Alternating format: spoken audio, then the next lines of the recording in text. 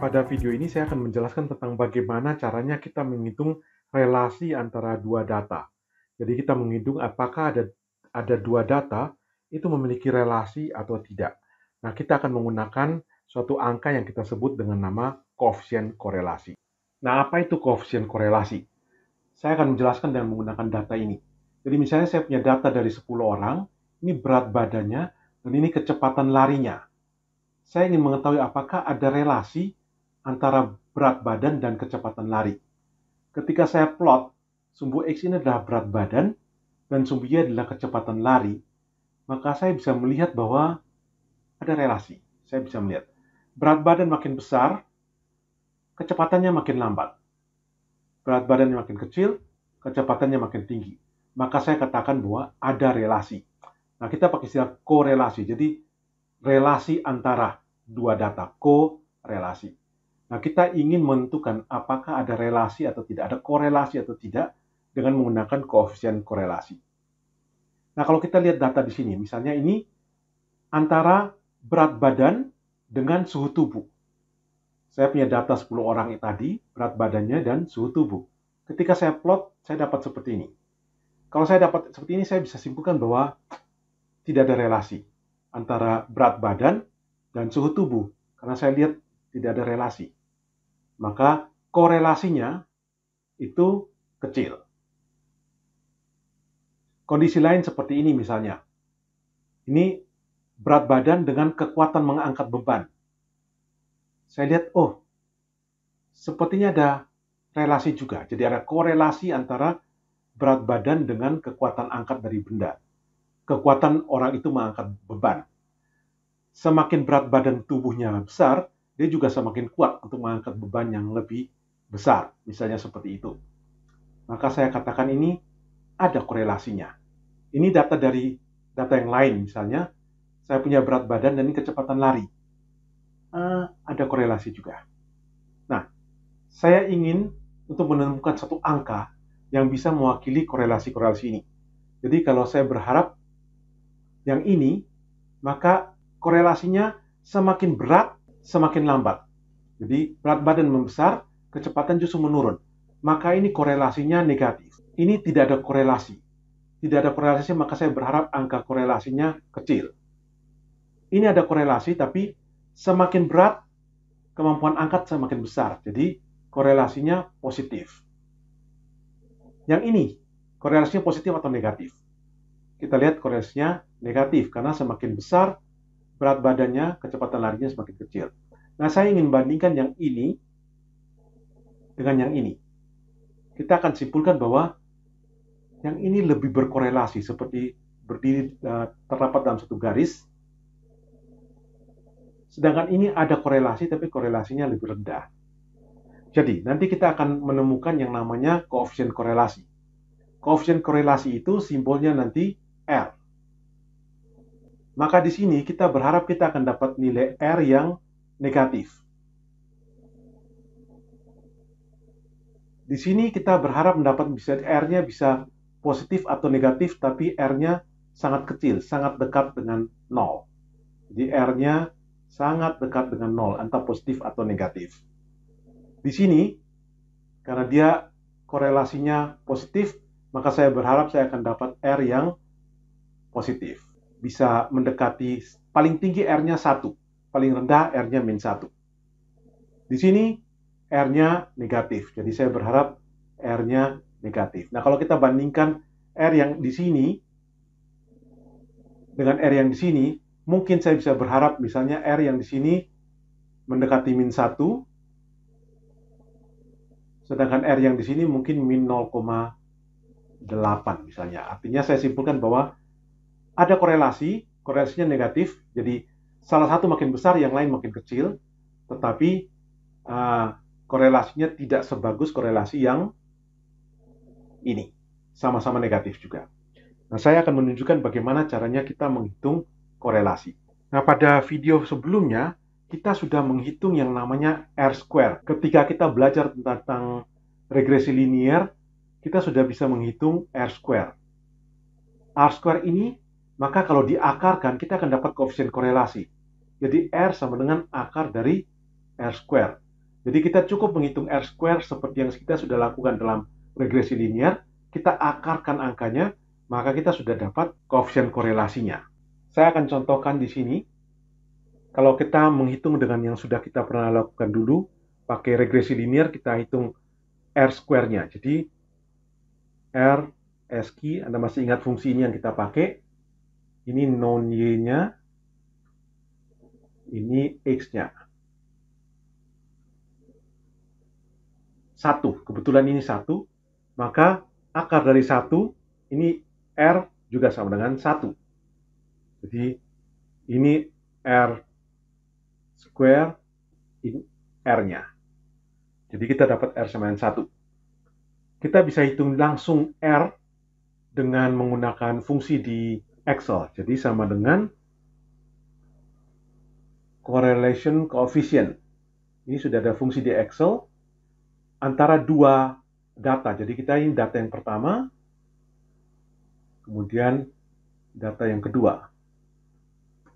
Nah, kita ketemu R-nya min 1. Kenapa ini tadi 1, ini min 1? Karena akar dari 1 itu sebenarnya bisa min 1 atau 1.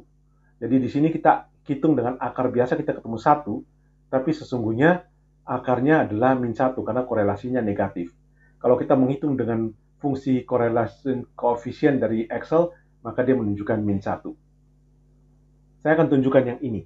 Kita mau lihat data ini korelasinya berapa koefisien korelasinya berapa. Maka kita hitung koefisien korelasinya antara data ini dan data ini. Kita lihat min 0,49. Korelasinya jauh dari satu, kecil. Bagaimana dengan yang ini? Kita berharap korelasinya positif.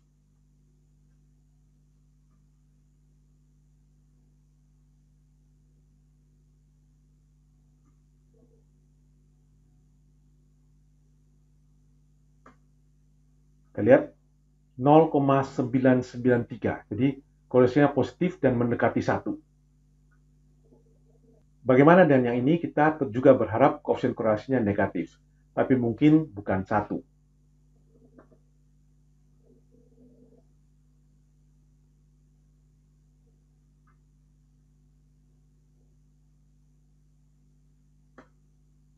min 9 min 0,9894. Jadi di sini korelasinya negatif 0,9894. Yang sini korelasinya juga negatif tapi satu artinya lebih berkorelasi antara berat badan dan kecepatan lari yang di sini korelasinya sempurna tapi negatif karena terbalik makin berat makin lambat.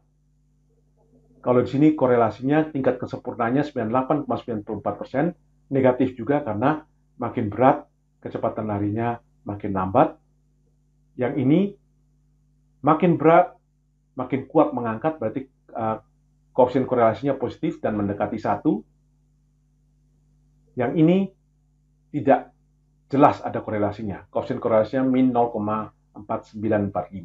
Jadi korelasinya tidak bagus. Nah inilah caranya kita menghitung korelasi. Nah saya ingin menunjukkan rumus untuk kita menghitung korelasi. Kita juga kita bisa menghitung dari R square, kemudian kita akarkan, atau kita menghitung dari persamaan ini. Jadi, X kurang sigma dari X kurang X bar kali Y kurang Y bar, kemudian sigma akar dari sigma X kurang X bar kuadrat kali Y kurang Y bar kuadrat. Nah, rumus ini akan kita coba hitung dengan Excel. Jadi yang ini saya sebut X, yang ini saya sebut Y, Kemudian saya perlu X bar-nya. Jadi sama dengan average dari yang ini. Itu X bar. Saya copy ke sebelahnya untuk mendapat Y bar. Jadi saya sudah dapat X bar dan dapat Y bar. Kemudian yang saya perlukan adalah di sini saya perlu X kurang X bar. Saya juga perlu Y kurang Y bar.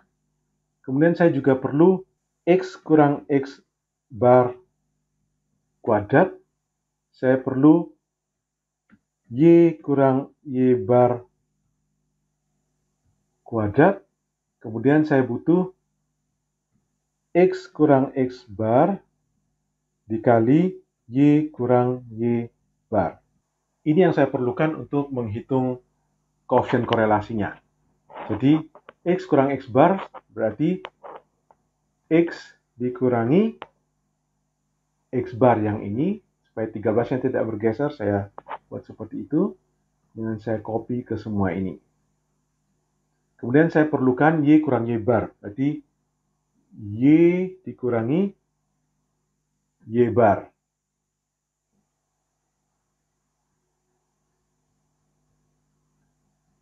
Kemudian saya butuh X kurang X bar kuadrat. Ini saya copy ke bawah. Kemudian saya butuh juga Y kurang Y bar kuadrat. Kemudian saya butuh X kurang X bar dikali Y kurang Y bar.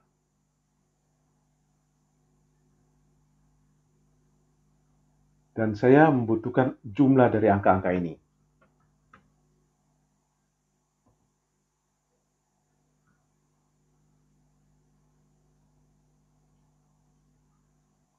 Saya dapat koefisien korelasi saya adalah sama dengan ini dibagi akar dari ini kali ini. Ini saya dapat R-nya. Sama seperti yang tadi kita hitung dengan persamaan daripada Excel. Demikianlah cara kita menghitung koefisien korelasi. Dan kalau saya ketemu angka koefisien korelasi seperti ini, maka saya tahu, oh, korelasinya negatif, mendekati satu, berarti mendekati sempurna tapi negatif. Artinya, kalau berat badan tambah besar, kecepatan lari akan tambah kecil dan relasinya mendekati satu, mendekati sempurna. 98,94 persen data berat badan dan kecepatan lari berelasi secara negatif, relasi terbalik. Nah, jadi kita sudah belajar bagaimana caranya kita menghitung koefisien korelasi dan bagaimana kita memahami koefisien korelasi menggambarkan relasi antara dua data. Jadi koefisien korelasi itu nilainya antara min 1 sampai paling besar 1.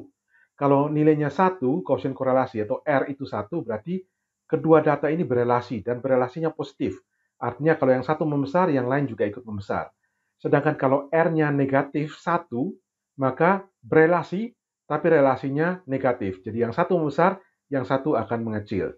Kalau angka koefisien korelasinya mendekati ke angka nol, maka kita akan menunjuk uh, berkesimpulan bahwa dua data itu relasi, korelasi antara dua data itu kecil, tidak terlalu besar. Jadi semakin mendekati ke satu, baik itu plus satu atau min satu, maka ada relasi yang makin kuat dan relasi itu bisa positif, bisa negatif. Nah, satu hal yang perlu Anda ingat, bahwa relasi antara dua data ini tidak berarti relasinya relasi, relasi sebab akibat. Jadi tidak tentu bahwa X itu menjadi penyebab Y menjadi akibat.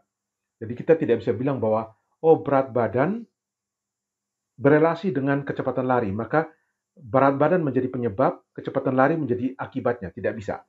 Karena bisa saja hubungannya itu sebab akibat, bisa saja akibat sebab, bisa juga dua hal ini merupakan akibat dari faktor lain. Tapi yang kita bisa dapat dan koefisien korelasi adalah mereka dua ini ada relasinya. Relasinya itu bisa sebab akibat, bisa akibat sebab, bisa relasi dua-duanya merupakan akibat dari suatu faktor yang lain.